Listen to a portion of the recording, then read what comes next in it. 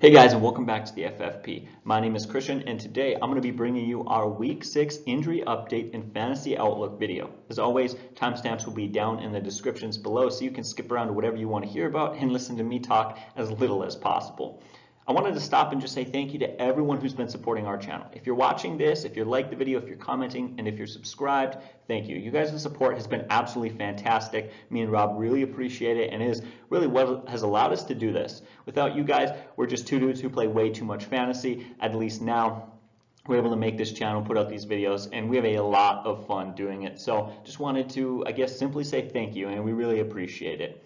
Uh, one thing I want to say is we're going to be doing some fantasy outlook in this video. I'm going to stick mostly to the injuries and do fantasy outlook um, somewhat brief because this video can't be too long because this video comes out sort of last minute for a lot of you guys Friday night. Most of you won't be seeing it till Saturday. Um, we can't overload this video with information and make you guys sit through two hours of content, so I try to keep it around half an hour in length. That being said, because it is a bit shorter and nothing goes extremely in depth, the comment section is there for a reason, and that's what I was just going to say. Leave a comment down below. We will try to answer that as much as possible. Just spend a half an hour, an hour earlier answering some questions on our start sit video, and that's really what this video is. It is a continuation of our waiver wire and start sit videos, giving you update on the information of these guys' health that we couldn't give you before because we simply needed more time. But as always, I'd like to kind of beat a dead horse and say what I say every week, which is let's quit wasting time and get right into it. We're going to start off with the quarterbacks. All right, guys, so the first thing I want to say before we can get started is there's not going to be a lot of quarterbacks we're going to talk about this week. I'm not going to talk about guys like Cam Newton or Sam Darnold because we already knew in our previous videos that Newton would be out and Darnold would be playing. So that's just to kind of save ourselves some time. Mostly, pretty much only going to be talking about the players who are in that in-between range. Um, and so you can find that with clarity. If a guy is not marked as anything to be injured on your fantasy site, or if he's marked as out, probably not going to be talking about him, and you can safely assume either he's playing, start him, or whatever, or that he is not playing, and obviously you can't play him. But first quarterback we got to talk about is Drew Brees. So Drew Brees won't be playing. He's still got that thumb injury, but he came out and said that he has high hopes to be throwing a regular sized football sooner rather than later. He continued to say that he is fast tracking things as quick as he can, and he'd like to be back in a couple or a few weeks. So he will not be playing this week, but at 30% available, it's time to pick this guy up and stash him on your bench. By the time he is back in playing, Teams with really low records, they're going to have priority over you on the waiver wire, and they're going to get him. So go pick him up now. He's a great quarterback. He's got great guys to throw to. I mean, he's a good fantasy option. So Drew Brees at 30% available. Wanted to kind of put that out there for you guys. Um, my expectation is, like I said, he'll be missing this week. My expectation is that he'll probably miss next week as well. My expectation, I've said that a million times now, but is that he should probably be back probably three games from now. Um, I'm going to say expectation one more time, but uh, again, just to say kind of this is where we're lining up his return time. But another guy to talk about is Mason Rudolph. He is out this week. Now, I talked about not talking a lot about players who are plain and simple like that, but I don't think that a lot of people knew that when we put out our start sit video. That was not so much a fact. This, of course, has fantasy outlook-wise a pretty negative impact on everyone playing for the Steelers, Juju Smith-Schuster and James Conner especially. So definitely guys to maybe consider benching this week as the Steelers are down to their third string quarterback. And I believe the final quarterback we have to talk about is Gardner Minshew, struggling with a little bit of a groin injury. He was added to the report as a limited participant in Thursday's practice. However, it's not too much of a surprise. Um, however, you know, because they simply want to keep him healthy, they don't want to overuse him, and he did participate in Thursday's practice. Um, he's got a great matchup this week, and he's played really well. My expectation is that Gardner Minshew will play, and he's actually a pretty good start this week if he does play. I would check that game time just to be safe, as I've said this in our channel um, in the past you know, half an hour before the games Sunday morning, check everyone's stuff. Just make sure, you know, really do your due diligence. That's what good fantasy owners do. And this is a tough guy, too. That's the other thing. He's not a baby. There are some quarterbacks like Tom Brady who get really knocked for not being very tough quarterbacks. This is not him. Get this. In college, he was a, a freshman and he played one game. And if you play two games as a freshman, if you get out there for any snaps at all, then what you have to do is you don't get to be a redshirt freshman. That counts as one of your years, and you're only given four years playing in the NCAA. Uh, but you can play one game, coming in, filling in for injury, whatever it might be, and still qualify as a redshirt freshman. And after his first game, it looked like he may be playing a little bit in the second game, and so he grabbed a hammer and tried to break his own hand and was tough enough that he failed to do so. Um, that is one, just a weird story of the already legend that is Gardner Minshew but tells you how tough this guy is and how dedicated he is to football. He is going to be playing this week, at least by what I think. However, as always, and I just mentioned it, 11:30 before the game start, check your lineups and be smart about that. But that's all I have to say for the quarterbacks. Pretty short and pretty simple. Let's move on to the running backs where things get a little bit more murky. All right, so let's get this started off talking about Todd Gurley, who's struggling with a little bit of a quad issue. Now, he was uh, remained sidelined on Thursday at practice. Now, the good news is his injury has nothing to do with his knee, and that was really the big concern coming into this season. And if it was his knee, I'd be far more concerned. I am less concerned long term because it is quad and his knee seems fine, so that's great news. However, he is currently marked as doubtful for their Week 6 matchup versus the 49ers. Now, I love the language that they use to report injuries because plain and simple, doubtful means it is doubtful he will play. And this is a situation where I'm going to say to Todd Gurley owners, start looking and considering another option. Of course, Todd Gurley with two touchdowns last week has been very phenomenal. Is a guy that if he does play this week, you have to start him. You absolutely do. So as I mentioned with our quarterbacks, 11:30 come Sunday morning, check your lineups, check whether or not he'll be playing. These teams are required, I believe, an hour before to put out whether or not these guys are going to be playing their active and inactive list, as it is called. So you are able to know that and change your lineup ahead of time.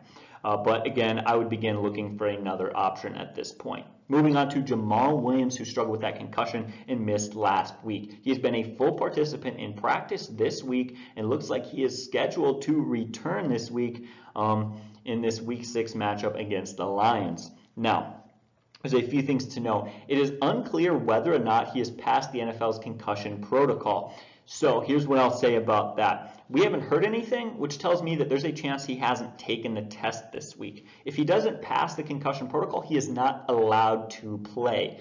Um, and so this does make me nervous. Again, this is a situation to check. However, here's what I'm expecting. If I'm an NFL coach and I have my running back, Jamaal Williams, and I want him to play on Sunday, I'm going to make that concussion protocol. I'm going to push that off till as late as possible. Now, I'm not 100% certain when they take those tests, if they're allowed to take the test on Saturday or if they're forced to take it on Friday at the latest, but I'm going to push that off till as late as possible. Maybe Friday night, Saturday, or Saturday night at the latest if I could to give this guy as much time to recover from his concussion as possible. So I imagine we haven't heard anything because they just want to give this guy even more time. However, he is trending in the right direction.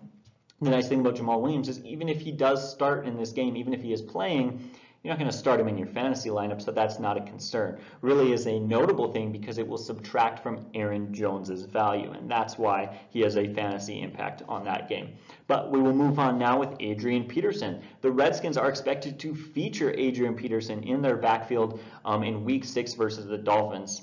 Interim coach Bill Callahan uh, came out and first of all he said that and he's talked about really featuring Adrian Peterson this week. Uh, but he's also a guy who came out and said that you know in 2019 in the modern day NFL that we are living in, he came out and said that running is more about volume and attempts than efficiency. Um, this means a few things. One, this is a good sign for Adrian Peterson's volume. Adrian Peterson has not had a great yards per carry, um, but he's always been a guy throughout his career that's kind of somewhat struggled in that area. Not because his yards per carry has been bad, but here's what you'll see with Peterson.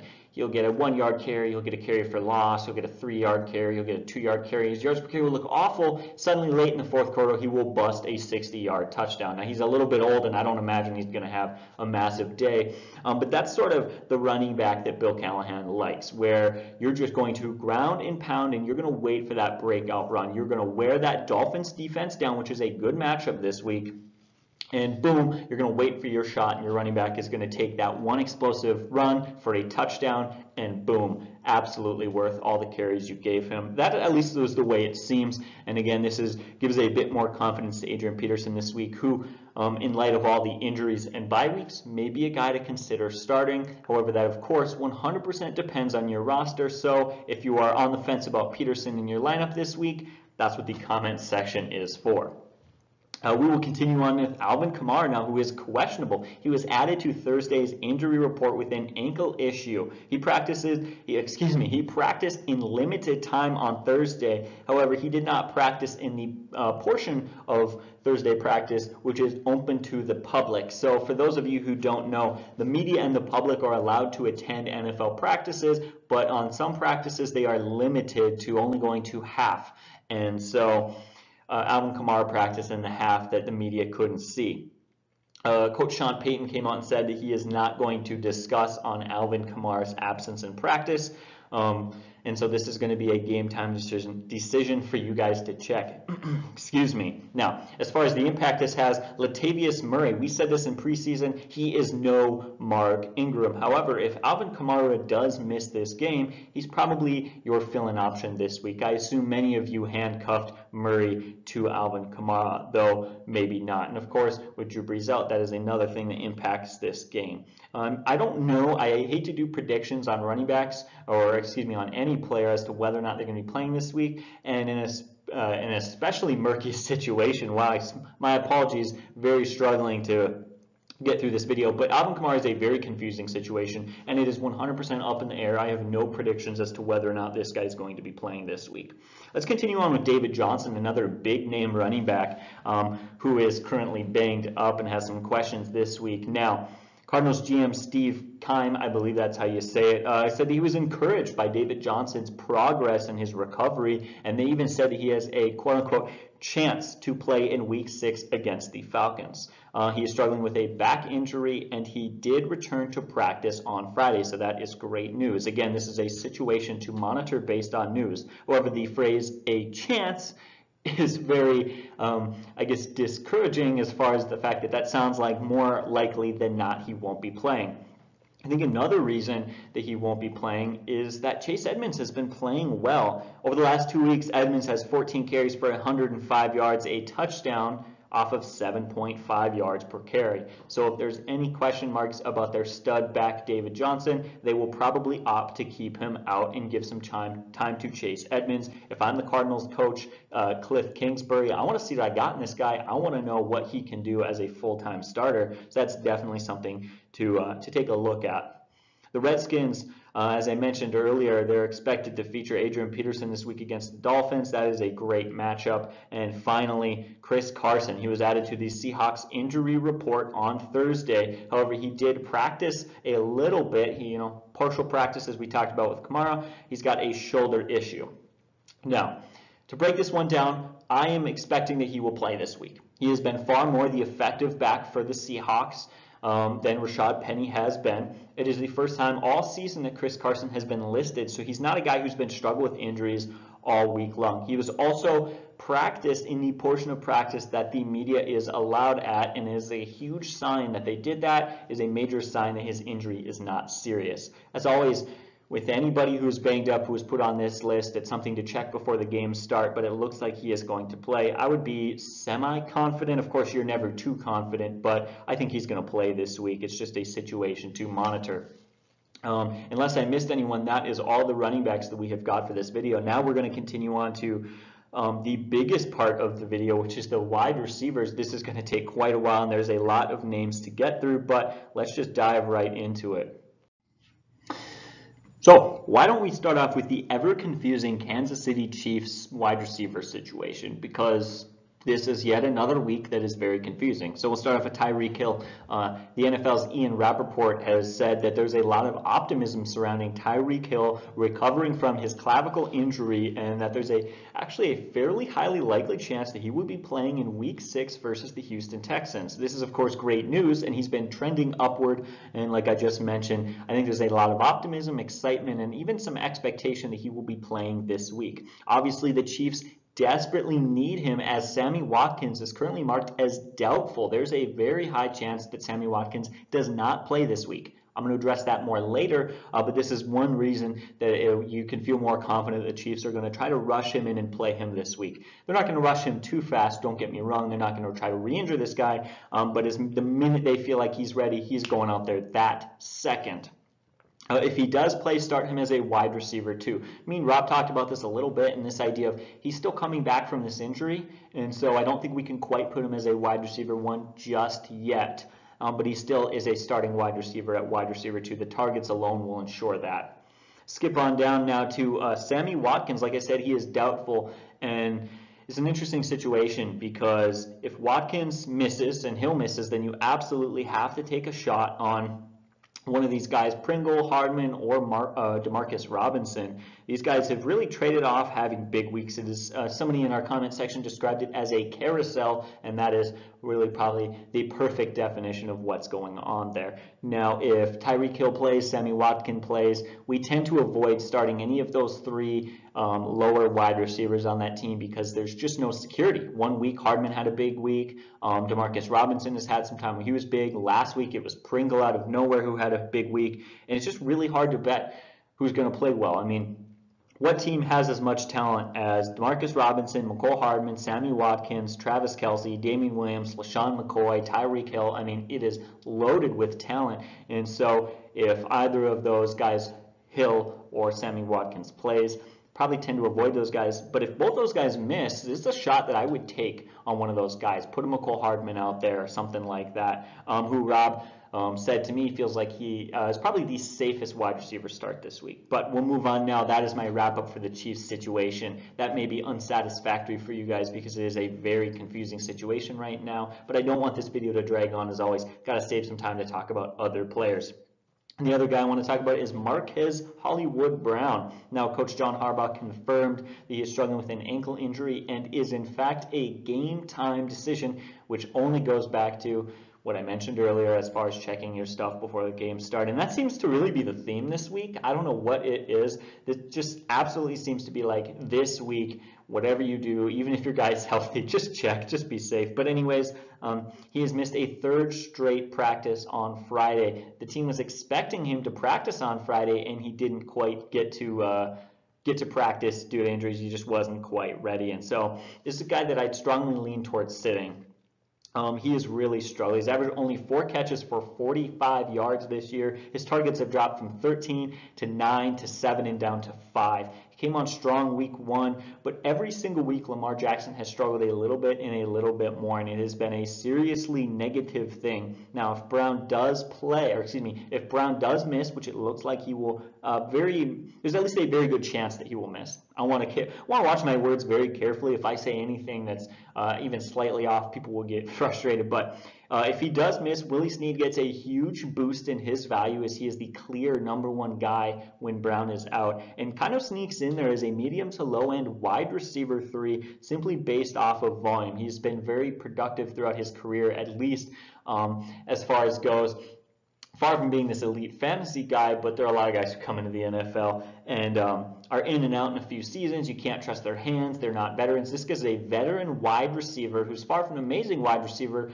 but he is a trustworthy guy. And when your number one wideout is out, the next guy you go to is really the trustworthy guy. We'll talk more about the tight end situation in Hayden Hurst and everything that's going on there. But we will skip that for now and continue on with Emmanuel Sanders, um, who is a full participant in Thursday practice. He's been struggling with a knee injury, but he looks healthy. And being that he was a full participant in practice, things are trending upward. It looks like um, you could play him this week. Now, he's had two weeks back to back that weren't as productive, so starting him carries some risk. I would call him a wide receiver three.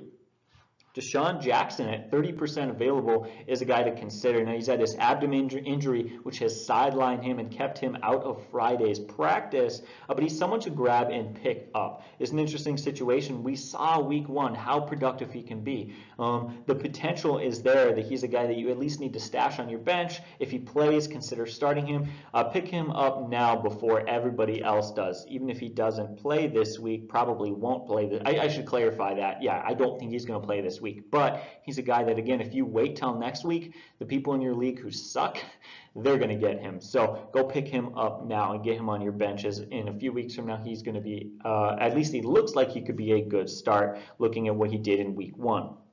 Now we will update Aaron Rodgers. Um, he is struggling with a bit of an injury, but he was limited in practice. It looks like he is going to play. That's why I didn't mention that in the quarterback section of this video. I don't think it is something we need to talk about too much. The big thing that we're talking about here with the Green Bay Packers is, of course, Davante Adams, who has got this turf toe injury. Um, he came out and said that he is not optimistic about his available availability for Monday's game. This is a tough situation, guys, because it is a Monday game. And so if you put him in your lineup and wait till Monday and he doesn't play, then you just didn't get a wideout that week. So I'm going to say put someone else in your lineup. He already said he's not excited about it. Turf toe is a lingering injury. He said that there is, you know, uh, let me read that again. That he is not optimistic, excuse me, for him to play this week guys, I'm expecting he won't play. He's expecting he won't play, and you should expect that he won't play. So we'll keep that nice and simple. The guy to look at is Marquez Valdes-Scantling. He's limited with a hamstring and calf issues on Thursday, uh, um, but it would appear they know they're going to have him as a big role in their offense in their Monday game. And so it, uh, I would imagine, and it appears such, that the Packers are simply limiting his reps so he is 100% in this game as he's going to be need to be the Packers lead wide receiver. And good for him, he has got an extra day to recover. Excuse me. Now, I probably should have talked about this when we talked about Emmanuel Sanders, but we'll continue on with Broncos guys coming back to them. And Courtland Sutton with his uh, leg, that's what they're calling it. They're not clarifying much more than that, but he was upgraded to full participant in practice on Thursday. He does play a very good Titans defense this week. Uh, but he has looked better and better every week. In fact, lately he's been looking like a wide receiver one. Um, it's a tough matchup, and he is bit banged up, bit struggling, I would play him as a wide receiver three if he does play, and it indeed does look like he will. However, that is not a guarantee. There's a reason he's being mentioned in this video. Chris Godwin, who is struggling with his hip, has been upgraded to a full participant in th Thursday's practice as well. I've mentioned this in the past. Thursday's practices are very important to know. Um, as far as whether or not guys return. There's not much to say about this guy. He is a just a stud top five wide receiver right now. He's absolutely been dominant, and it's great because with Mike Evans there, who do you assign the number one cornerback to? This guy's going to be fine. You start him if he plays. No concerns about that. Brandin Cooks, who has been struggling with that concussion, is expected to play against the 49ers this week. I will say no more on that and keep that simple. Because I want to talk about Julio Jones now, who also has a hip injury, but he returned to practice on Thursday, so that is good news. He was limited in Thursday's practice. However, he seems to be always on the injury report. Um, but he rarely misses time. And so this is a guy who, this is a situation that he's really been in every single week of the season. Now, if by chance he misses, Mohamed Sanu and Calvin Ridley get major, major upgrades in their value. In fact, both Sanu and Ridley should be started if Julio Jones misses. However, it seems like he's going to play. Um, at least that's my prediction. Um, again, I hate to make predictions. Don't go by that. Go by what you see Sunday morning before the games. But um, if he does play, drops Ridley down to a wide receiver three and Sanu as probably a low wide receiver three with a bit of a PPR boost because he's uh, maybe not a huge PPR guy, but he's a consistent guy, consistent in his catches. Christian Kirk ankle practice on Thursday. That's good. He's coming back. Seems like he is trending in the right direction and should be playing in his week six matchup after missing last week with a sprained ankle. AJ Green, finally hearing some news about this guy. He will practice very limited basis on Thursday. Excuse me, he did practice uh, very limited. Now he's getting closer to his return. He's 25% available. Definitely got to pick up now while you can. However, he's probably not going to be playing this week. Rob did the research on Golden Tate and would like me to talk about him.